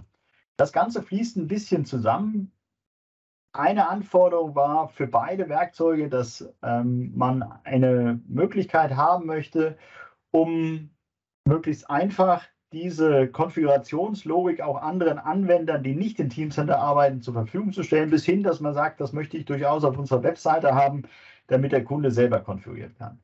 Ähm, oder auch andere Applikationen wie dieses äh, automatische Angebotserstellung und so weiter ähm, dort mitzuverwenden. Und dort hat es ein bisschen gehapert mit dem Product Configurator, äh, mit der API. Das hat man nachgezogen. Es gibt jetzt eine ähm, offene, in Anführungsstrichen, Programmierschnittstelle auf Basis der SOA-Architektur von Teamcenter. Und dort kann ich eine ganze Menge machen. Und äh, wie gesagt, eine Zielrichtung dazu ist, dass wir ähm, auch hier ähm, die, sage ich mal, über die Funktionalitäten auch entsprechende angepasste Oberflächen zur Verfügung stellen, die natürlich deutlich noch viel schöner ist wie der Product Configurator, im Teamcenter sowieso schon ist, wie ich finde, im Active Workspace. Ähm, genau, das, äh, so dass ich auch wirklich Oberflächen zur Verfügung stelle, wo ein Nicht-Techniker konfigurieren kann. Wie das aussieht, möchte ich Ihnen zeigen. Das ist, sage ich mal, die, die Ansicht, wo ich ähm, innerhalb des Rich-Clients, ähm, sage ich mal, meine entsprechenden Regeln oder Werke festlege, wie, wann ich welche Konfiguration durchführen kann. Das ist jetzt mal ein Client, den möchte ich einem Experten angedeihen lassen, aber sicherlich keinem, äh, der nur mal eben Produkt durchkonfiguriert. Hier lege ich fest ähm, oder kann ich festlegen, was, wie, also über Teilefamilien, über Optionsfamilien kann ich festlegen, wie meine Produktstruktur, sage ich mal, oder wie, wie das Regelwerk eigentlich ist hinter meiner Produktstruktur, ähm, wann zum Beispiel ein 18 Volt ähm, oder wann ein gewisser Motor zur Verfügung steht, so weiter. Die Anforderung ist aber, dass ich das natürlich habe, haben möchte in einer Art und Weise, dass das wiederverwendet wird, diese Teilefamilien, aber in einer Art und Weise, dass auch ein Nicht-Techniker es einfach machen kann. Und hier sehen Sie eine Oberfläche, wo ich ein Produkt durchkonfigurieren kann, mit Icons unterstützt, mit ähm, modernen, moderneren, ähm, sage ich mal, mit Zeichnungen hinterlegt, Fotos hinterlegt, damit die Leute was, äh, sehen, was sie da eigentlich zusammen konfigurieren, ähm, dass man diese Dinge ähm, da hinterlegen kann und dann auch eine Anwenderschaft zur Verfügung stellt, dass dort ähm, Dinge durchkonfiguriert werden. Das heißt, dass am Ende eine, eine, eine Lösungsvariante rauskommt, die ich auch an ein Angebotssystem oder auch an, an andere Dinge übergeben kann. Wie funktioniert das? Dazu wird der Rootstream äh, Architect verwendet. Dort kann ich diese Oberflächen definieren. Das heißt, für jede dieser ähm, ausgeführten ähm, Optionen und so weiter kann ich festlegen, wie sie in der Benutzeroberfläche festgelegt werden, zum Beispiel als Radio-Buttons, wie wir es hier sehen, oder aber als, ähm, sage ich mal, Textbox. Ich kann aber auch sagen, ich möchte ein Karussell haben ähm, und dort die entsprechenden Darstellungsbreiten und so weiter anpassen in der Oberfläche. Und daraus wird dann quasi ein, eine Oberfläche generiert, die auf diese Funktionalitäten zugreift die wir auch in, innerhalb von Teamcenter definiert haben, wie dieses Power Supply, Power Control, was wir vorhin gesehen haben. Und jetzt habe ich hier zum Beispiel dieses Karussell zur Verfügung und kann hier ähm, recht einfach diese Informationen entsprechend abrufen. Das heißt, die in Teamcenter definierten Optionen, Familienoptionen und so weiter werden hier übernommen, aber in einer Oberfläche, ähm, sage ich mal, zur Verfügung gestellt, wo ich recht einfach wie gesagt, eine Anwenderschaft, die nichts mit Teamcenter zu tun hat, diese Konfigurationslogik und Möglichkeiten zur Verfügung haben. Lösungsvarianten, die ausdefiniert werden und ähm, hier für wichtig erachtet werden, kann ich aber trotzdem dann nach Teamcenter speichern und stehen mir dann auch hier in Teamcenter zur Verfügung. Hier mal, sage ich mal, jetzt im Rich Client der ist vom Product Configurator, ist noch nicht alles im Active Workspace, da wird noch dran gearbeitet. Aber wenn ich jetzt hier diese Lösungsvariante suche, die wir gerade eben in der Oberfläche gemacht haben, sehen Sie, dass auch diese entsprechend ähm, innerhalb von Teamcenter gespeichert ist. Das heißt, das ist nicht, das ist nicht etwas raus und dann muss ich da extern mitleben, sondern auch das, was dort konfiguriert wurde und festgelegt wurde, steht mir in Teamcenter zur Verfügung. Genau. Das ist Produktkonfiguration. Genau. Dann hat sich für den Produktkonfigurator die Benutzung ähm, hat sich einiges getan im Active Workspace. Sind so ein paar kleine Hinweise, dass man dort auch jetzt mit Effektivitätsdaten für die entsprechenden Regeldaten, also für das Regeldatum verwenden kann. Wenn ich mehrere Stände habe von solchen Regeln, dass ich dann äh, entsprechend auch sagen kann, das wird jetzt ähm, zu dem und dem äh, Zeitpunkt ähm, effektiv. Und dieses Durchschalten, da habe ich jetzt eine leichtere Bedienung in ähm, Teamcenter und ich kann Variante-Regeln jetzt auch einfacher duplizieren und ändern, also kopieren und ändern mit einer Safe-S-Operation. Also kleine äh, Dinge, die da passiert sind. Genau, kommen wir zum Projekt Program und Process Management. Genau, im Wesentlichen in dem Release ähm, der Schedule Manager der einige Verbesserungen äh, erlebt hat. Der Schedule Manager, der ja jetzt, sage ich mal, inzwischen vollumfänglich im Active Workspace integriert ist, wie ich sehr finde, sehr gelungen ähm, ähm, integriert ist jetzt.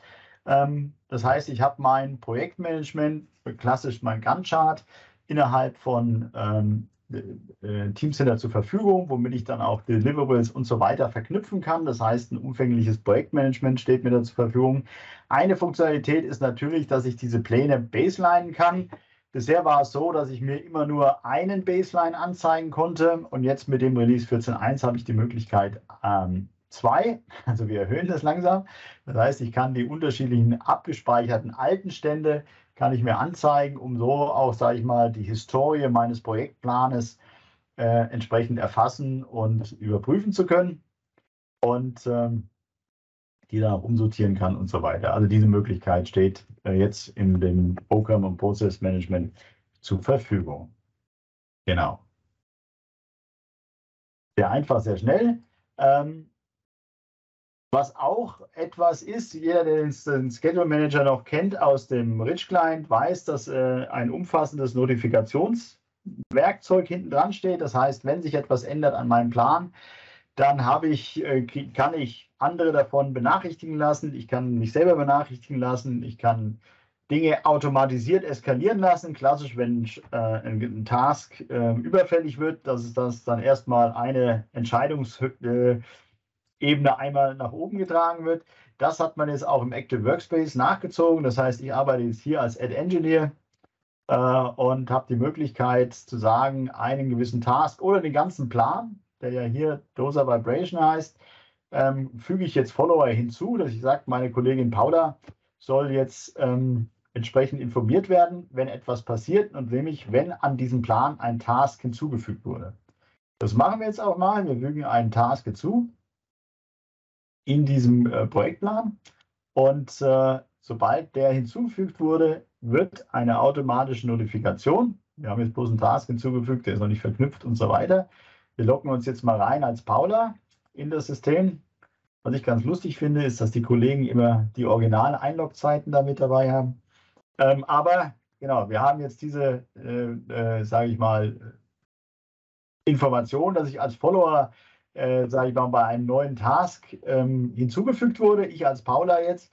Und ich sehe bei meinen, ähm, bei meinen äh, Newsfeed dann auch, dass dort ein neuer Task angelegt sind. Also das heißt, ich als Anwender habe dann auch die Möglichkeit, wenn ich das Recht dazu zu sagen habe, Unfollow. Das heißt, das interessiert mich nicht, wenn da ein neuer Task hinzukommt. Das heißt, ich kann das selber managen und das natürlich auch ablehnen. Aber so funktioniert das. Natürlich kann ich mich selber mit unterschiedlichen Events, wenn ich so ein, äh, oder auch diese Subscription kann ich deaktivieren. Das heißt, ich hab, kann das vollumfänglich managen, wie, wann ich notifiziert werde oder benachrichtigt werde und entsprechend dann auch andere Personen mit hinzunehmen, je nachdem. Das soll so ein bisschen dieser Interaktion und dieser Zusammenarbeit, dieser Collaboration-Gedanke innerhalb von Teamcenter erhöhen, gerade auf Projektebene, wo ja doch relativ viel Ad-Hoc-Aktionen äh, nötig sind. Und Basis dafür ist natürlich, dass ich weiß, was in meinem Projekt eigentlich passiert. Und hier habe ich, wie gesagt, wenn ich das ausfülle, immer die Möglichkeit, einen Event-Typ äh, auszuwählen. Das heißt, wann soll dieser, diese Notifikation ausgelöst werden. Und wenn ich da in die Liste gucke, dann habe ich klassisch äh, die Dinge, wenn Status geändert wurde, wenn das Ding overdue wird, also wenn das überfällig wird oder fällig wird, das ist ja auch mal ein Punkt, das ist ja auch mal schon mal wichtiger, wenn jemand das Start- und Enddatum verändert, das geplante und so weiter. All diese Dinge ähm, kann ich man sagen, dass dort eine entsprechende Notifikation erfolgen soll. Ähm, und wie gesagt, dann auch, wer soll dazu ähm, gehen? Ich kann, brauche nicht nur interne Menschen da hinzufügen, ich kann auch E-Mail-Nachrichten hinzufügen und Empfänger dort äh, mit reinbringen, die eventuell nicht Bestandteil von Teamcenter sind.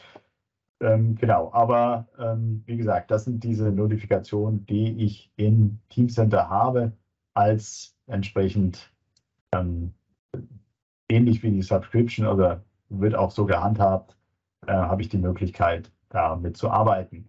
Innerhalb meiner Subscription kann ich dann wieder filtern, und so weiter nach Prioritäten und äh, Dinge mir darstellen lassen, ähm, damit ich da auch eine Übersicht habe, Unwichtiges von Wichtigem trennen kann. So funktioniert das in diesem Bereich. Gut, das ist die Notifikation zu dem Thema. Ja, Change Management ähm, vieles wurde schon über diese Änderung in Kontext geredet. Ein Punkt, der bei vielen Kunden immer wieder zur Diskussion führt, ist, der, ähm, ist das, das Arbeiten mit Effektivitäten. Entweder auf Verbauung oder auf äh, Strukturen selber, wo ich sage, ähm, wann wird eine Änderung effektiv. Und dort ist es ja äh, ist es so, dass immer wieder diskutiert wurde oder viele ERP-Systeme auch haben, sobald ich eine Nachfolgerevision äh, ähm, oder sage ich mal, initial wird die Effektivität immer von dem aktuellen Datum bis unendlich gesetzt. Wenn ich dort revisioniere, einen neuen Stand habe, dann äh, vergebe ich eine neue äh, Effektivität auf dem neuen Stand und natürlich muss auf dem alten Stand die Effektivität angepasst werden, nämlich zum Start Punkt der neuen Effektivität, der neuen, des neuen Revision oder vielleicht eine Austauschkomponente bei einer Verbauung. Das sind sogenannte Effectivity Cutbacks, das heißt, die auf dem alten, äh, auf der alten Komponente oder Revision basierende Effektivität wird zurückgeschnitten. Das ist genau das, was äh, hier passiert. Und das hat man jetzt implementiert im Change Management von Teamcenter. Ähm, das heißt, es wird jetzt, äh, machen wir nur ganz kurz, ähm, wenn ich eine Struktur öffne, ähm, entsprechend und ich dort Änderungen vornehme, genau, ähm,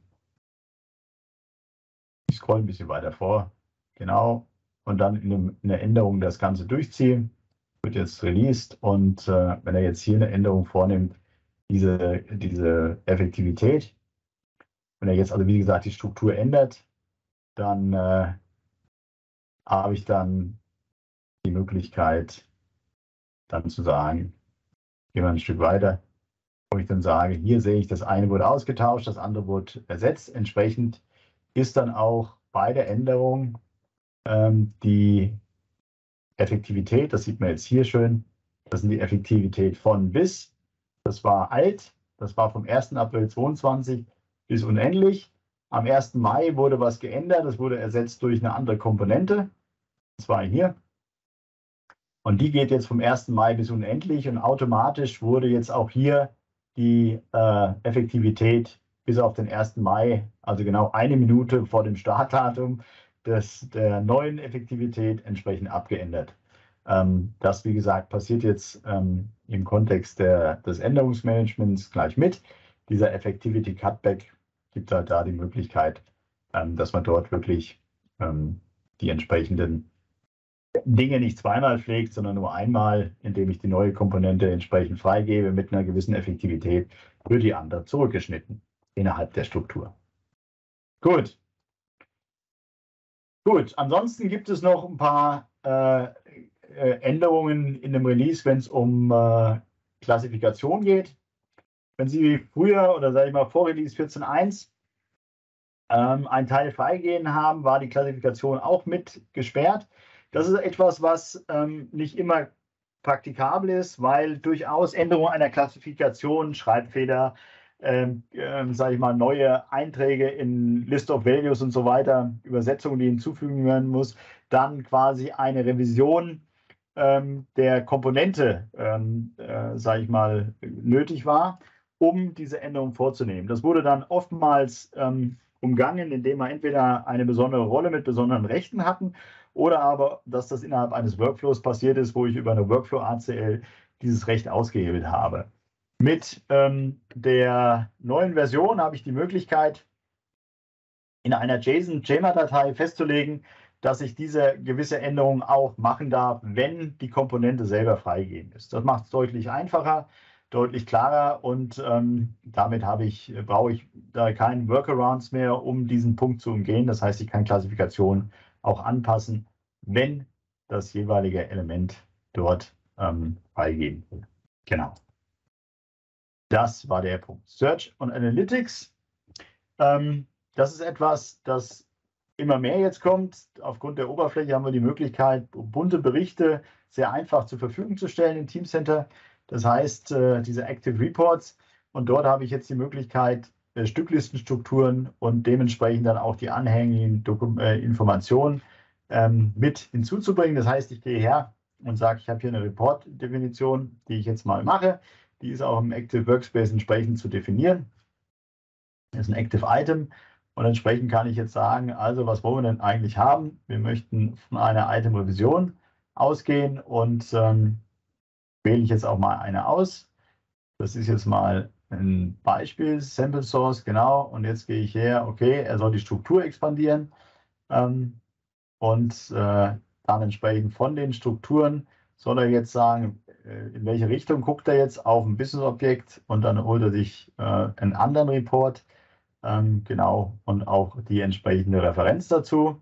Das Problem-Items will er abfragen und das äh, fügt er jetzt hinzu. Kann ich noch erweitern, noch beliebig viele machen. Und entsprechend sieht so die Struktur aus. Und das Ganze wird als Chart entsprechend äh, angelegt. Ich kann mir das anschauen. Das ist meine Voransicht und das Ganze abspeichern und mir dann entsprechend, wenn ich jetzt auf ein gewisses Teil gehe, spielt jetzt mal keine Rolle, auf welches, versucht sich jetzt irgendwas und äh, eröffnet sich diese Daten und hat hier natürlich die Möglichkeit, diesen Report zu verwenden. Das Ganze finde ich unter Manage und ähm, dort dann Generate Report. Da kann ich jetzt meinen Report, den wir gerade eben gewählt haben, diesen Bomb PR, generieren und mir anschauen. Entsprechend kriege ich die äh, angezeigt und kann auch sagen, dass er das bitte zu meinem Dashboard definieren soll. Und wenn ich jetzt in meine Reports gehe, gibt es da unten ähm, quasi hier, da unten den Eintrag meines Bomb PRs mit dem ausgewählten Produkt und ich dann jederzeit, sage ich mal, dynamisch auf diese Daten draufschauen kann. Recht einfach, recht schnell, wie ich finde, recht bunt und damit auch managementtauglich. Genau, schauen wir weiter.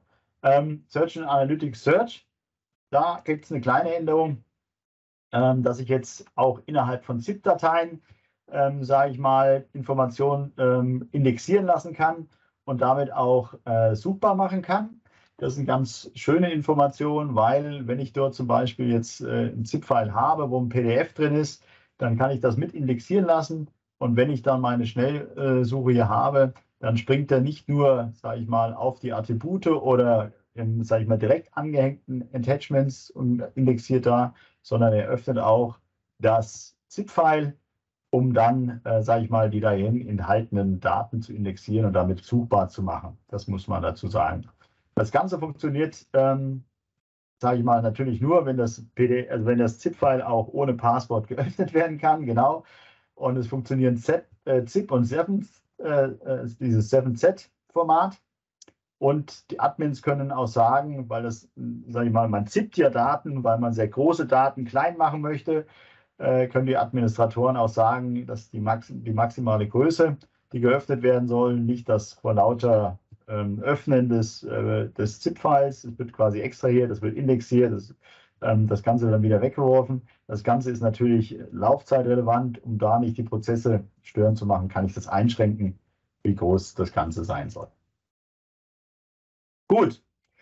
Ähm, die, sag ich mal, sag ich mal CAD-Interfaces ähm, gab es ein paar Änderungen auch in zu dem einen oder anderen etwas exotischen System. SolidWorks ist ja durchaus ein etabliertes System, was auch gerne am Teamcenter angeschlossen wird. Und dort hat äh, jetzt die Integration äh, ein paar Neuerungen ergeben. Das heißt, natürlich können Sie jetzt auch die modernen, äh, sage ich mal, Versionen von SolidWorks anfassen. Die werden, sie werden ja, sage ich mal, deutlich schneller äh, revisioniert und äh, oder versionisiert. Und äh, es gibt eine Unterstützung, ähm, dass wir, ähm, ähm, sage ich mal, das Intellekte, äh, das äh, Intelligent Part Numbering auch verwenden können. Das heißt, dass äh, entsprechende Item-IDs über eine Kombination, über einen Nummerngenerator aus einer Kombination von ähm, Merkmalen, die Sie zu definieren haben, quasi abgeleitet wird. Das heißt, dass ich so ein gewisses sprechende Nummernsystem da auch hinterlegen kann. Das, wie gesagt, geht jetzt auch mit der SolidWorks-Integration. Das ging für Solid Edge und NX schon deutlich vorher.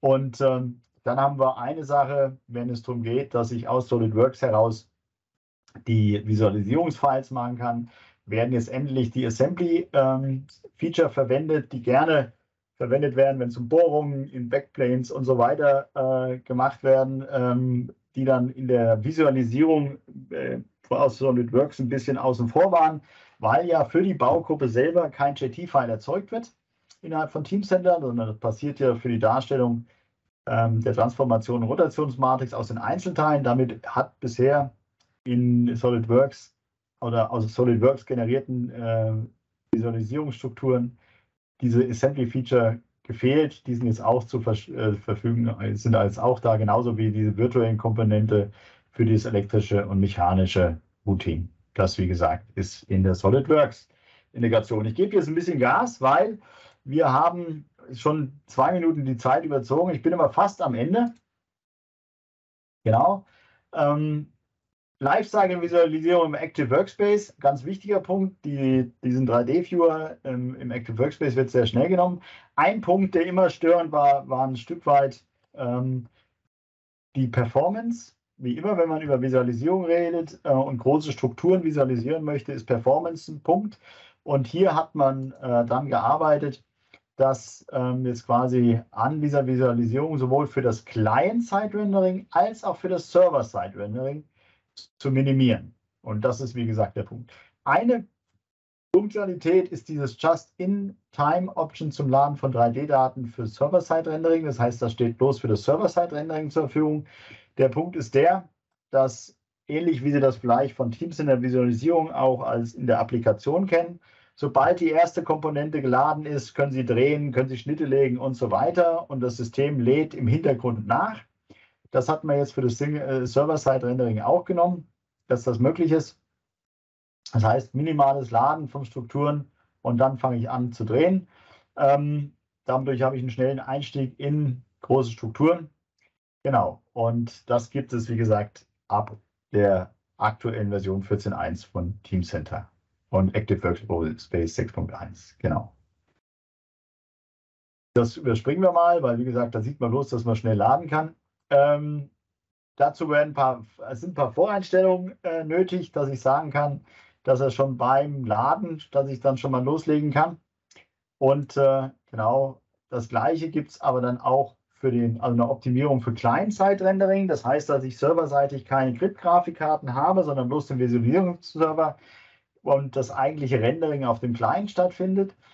Ähm, da ist es so, dass jetzt durch Datenkomprimierung und äh, das besondere Ausprägen der Browser, äh, der, der Caches äh, entsprechend optimiert wird und äh, damit ich möglichst schnell auch große Strukturen äh, laden kann. Dazu gibt es eine Übersicht, da springe ich jetzt gerade mal drüber, ähm, was alles geht. Das ist hier die, wo man sieht, ich habe hier meinen Teamcenter-Server, der, das ist die erste Optimierung, als erstes mal ein BOM-Window shared mit unterschiedlichen Sessions, sodass nicht jeder User die Struktur nochmal öffnen muss, bevor ich sie visualisieren kann. Das passiert ja alles auf dem Server, sondern wird jetzt geshared.